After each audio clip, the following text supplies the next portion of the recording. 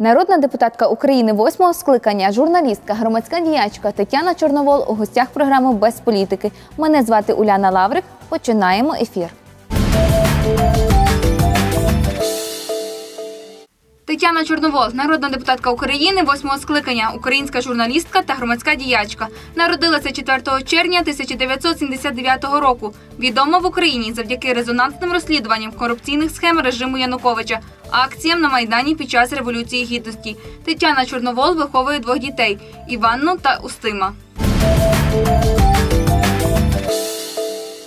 Вітаю вас, пані Тетяно. У нас в гостях програми Без політики. Вітаю, вітаю вас, вітаю глядачів. Дякую, що ви до нас прийшли. Рада нашому знайомству. Перше Дякую. запитання я хочу розпочати з е, того, яким для вас видався цей 2020 рік. Дуже багато людей говорять, що він дуже складний для кожного.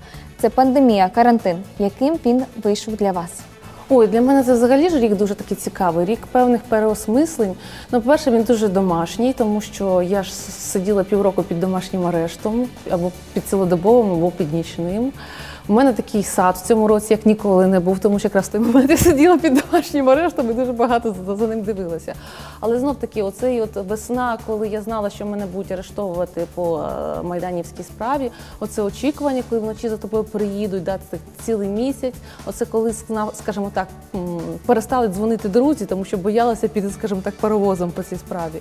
І коли знов таки абсолютно люди, з якими ти давно не спілкувалась, почали тебе рятувати. Знову таки, хтось хтось відійшов, хтось набе- навпаки підійшов. І все-таки піднялася ця хвиля підтримки, яка, зрештою, завдяки якій я зараз не опинилася в тюрмі і не сиділа в СІЗО, все таки домашній арешт, особливо в умовах карантину. Ну так вся країна сиділа під домашнім арештом, фактично. За А, ну ще ж і ще ж в мене поламана нога була, да, коли на, на прес-конференції в ДБР, в Бабіково, мені ж тоді видрали ногу. Це теж був дуже довгий період операції, реабілітації, все це разом. І оця кримінальна справа, це очікування, що заберуть СІЗО, і треба було встигнути цю операцію зробити, щоб в тюрму не потрапити з ногою поламаною. Ну тобто такий реально складний рік. І знов таки е, багато хто від кого я очікувала допомоги, вони раптом зникли. Знаєте, це якесь було таке откровення. І навпаки, люди, від яких я не очікувала допомоги, вони з'явилися і вони допомогли. І от якось так все життя ну, помінялося доволі. І певні речі я переосмислила, головне стала цінувати. Цінувати от якісь дрібні моменти, які раніше не цінувала. Ну, наприклад, от, як ви кажете, ну, сад, да, чому я ще запам'ятала цей сад.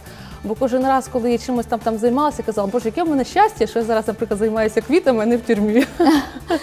Чим ви ще можете похвалитися? Я так розумію, є квіти, може ще якісь кулінарні е, навички. ви Ні, свої я не люблю займатися кулінарією. Я малюю. Тобто я пишу картини. В цьому році, правда, я їх особливо не писала, тому що і хотілося дуже, але знаєте, коли щось болить, писати картини важко, бо картина справді це дуже велика інтелектуальна робота, де там тіні покласти, де там де, де як, да? там перспектива, все інше, це, це собі там вичисляєш.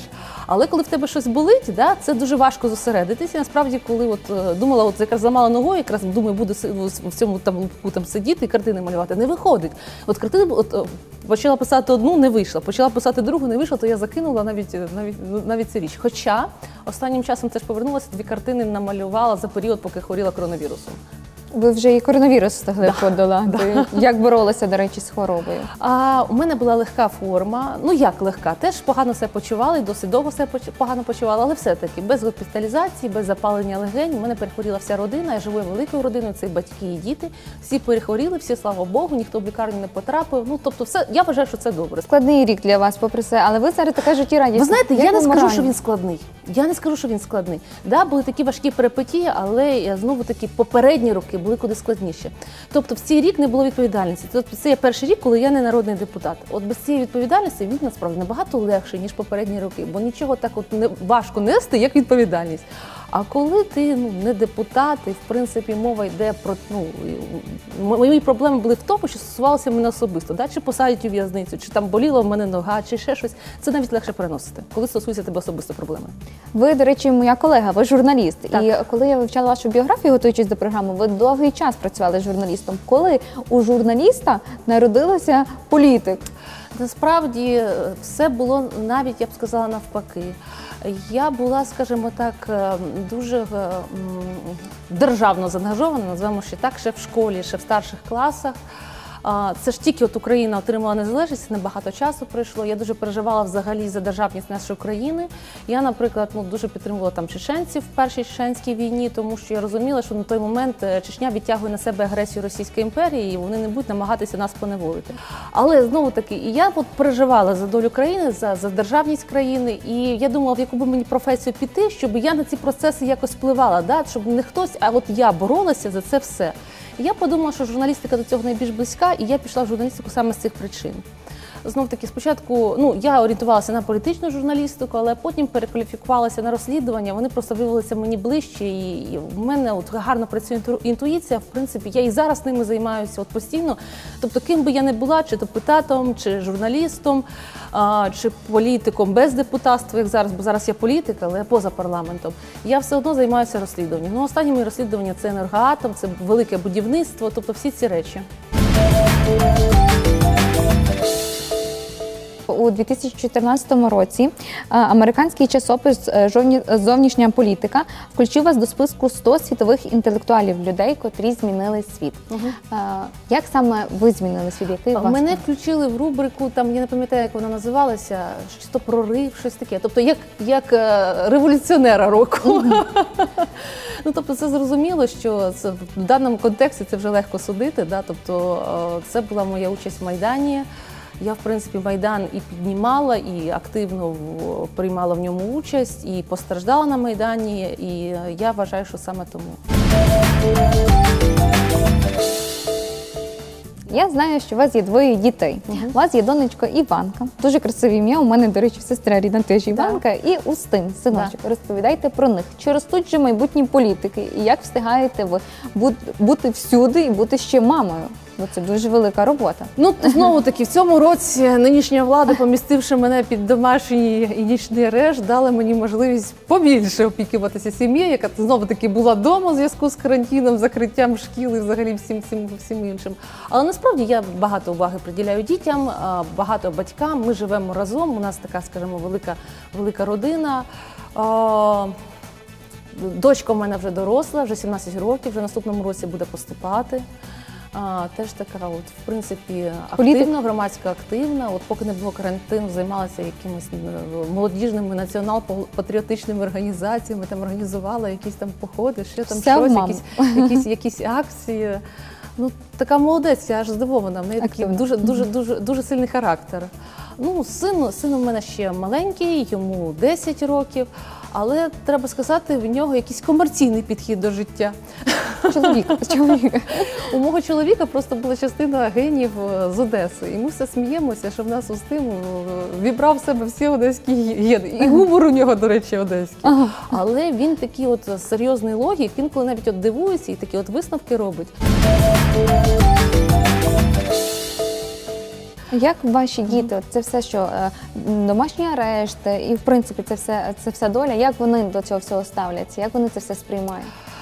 Ну насправді ж вони в принципі звикли. Тобто, в мене все життя яке, якесь таке, вони сприймають це як нормально. Абсолютно нормально. Скажу, навіть прийшло це ДБР, а, коли з обшуком. А, в мене там цілий автобус автоматчиків спецназу, да, всі вони там завалили цей будинок. Іванка там в своїх соцмережах фотки шлю, шле, там її подружки пишуть, які гарні хлопці у тебе в гостях. І, я така, і, і сидять і сміються з цього приводу. А щодо, щодо Устиму, ще ситуація смішніша. Тобто проходить цей обшук. А в мене будинок двохповерховий, приватний будинок. Він доволі такий старий, там такий підвал захаращений, і горище, і кури, і сараї, і е, гаражі. Тобто таке великий простір для обшуку, і цей обшук іде вже там код якусь там годину. Приїхали вони ще вночі, ну, як завжди в нас ДБР приїжджає. Там ще, ще, ще навіть не ДБР, ще це сталінських часів, треба обов'язково вночі приїхати. І от цей обшук, і нарешті вся ця компанія завалює в кімнату Устима. А Устим спить, Просто спить. просто спить. Молод- Молодці, в принципі, молодці. Не можу не запитати. Ваш чоловік загинув за Україну. Е, Він наш герой. Е, На жаль, е, в Україні дуже багато жінок, які також втратили своїх чоловіків. Я вважаю, що час він не лікує, час просто вчить нас жити з тим болем. Як ви можете, якщо зараз звернутися до всіх жінок, які опинились в такій самій ситуації. Можливо, ми їх якось надихнемо, можливо, ми їм щось скажемо. Як ви впоралися з тим всім, і як ви навчилися жити далі? Ой, щиро скажу, лікує, звичайно, час. Як то кажуть, я якось просто з цим горем впоралася тільки років через п'ять. Насправді тут інколи навіть і багато часу треба. Да? Тобто тільки через п'ять років я відчула себе якимось, скажімо так, капітаном корабля. До того постійно от когось там поряд не вистачало, і постійно були ці думки. А зараз якесь прийшло таке усвідомлення, то реально капітан корабля, да? от, ведеш його.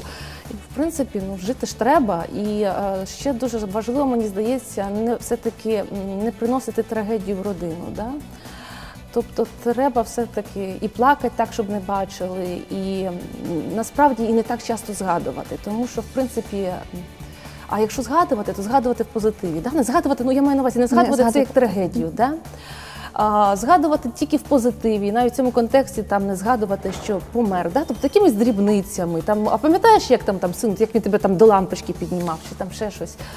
Але не трагедію, да? не трагедію. Я намагаюся і поменше на цвинтар дітей, і щоб в них дитинство не прийшло так, от щоб це якась там трагедія. Так ні, ну все-таки це їхнє, це, це їхнє життя, це їхнє дитинство, воно повинно бути світле, і теж це робота. Над цим треба над цим треба насправді працювати. Тобто, ну що ж, якщо таке трапилося, да, ну. Все-таки треба жити далі, і треба думати і про оточуючих, і про сім'ю, і про свій корабль, і ставати капітанами корабля. Ну от я отак і звертаюся до цих жінок. Ставайте капітанами корабля і пливіть. Яке майбутнє Тетяна Чорновол? Що ви плануєте? Е, чим надихаєтеся і що плануєте далі робити? Так, майбутнє. Ну, знаєте, є якесь, є якесь майбутнє, якась лінія, яка тебе веде. Да? У мене є ця лінія, яка мене веде, тому що я ж зараз в списку Європейської солідарності. Якщо, наприклад, Синютка зараз е, стає мером, я стаю народним депутатом. Тобто ця лінія, яка мене просто веде.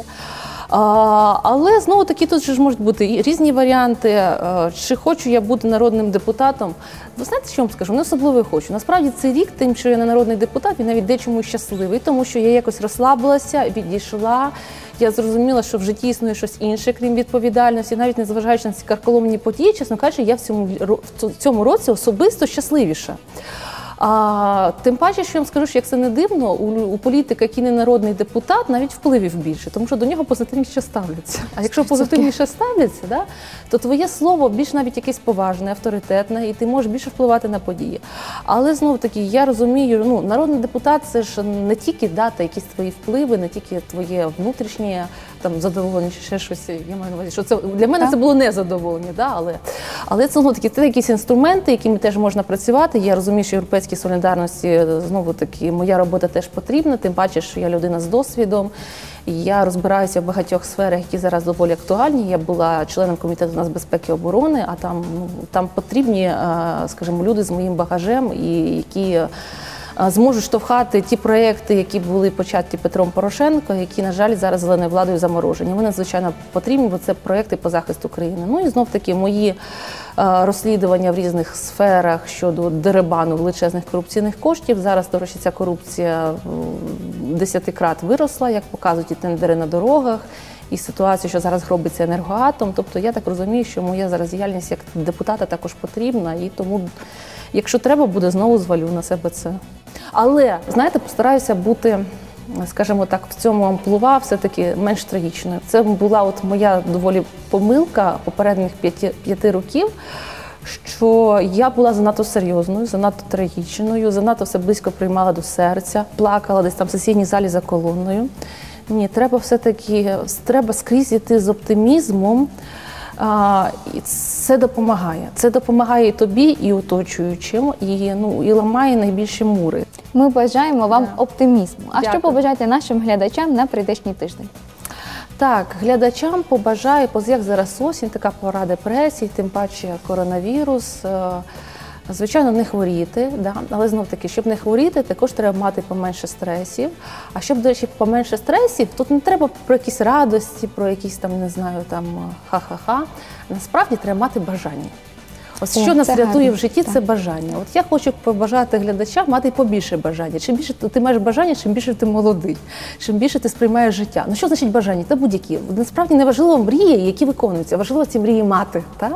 Навіть якщо ти маєш таке проснувся вранці, в тебе величезне бажання випити кави, це значить вже життя удалося. Ой, гарно. Дякую вам. Дякую вам. Дякую вам за розмову. А нашим глядачам я нагадаю, що ми розмовляли з народною депутаткою України восьмого скликання Тетяною Чорновол. Побачимось за тиждень у цей же час на цьому ж каналі. Будьте нам здорові, Па-па!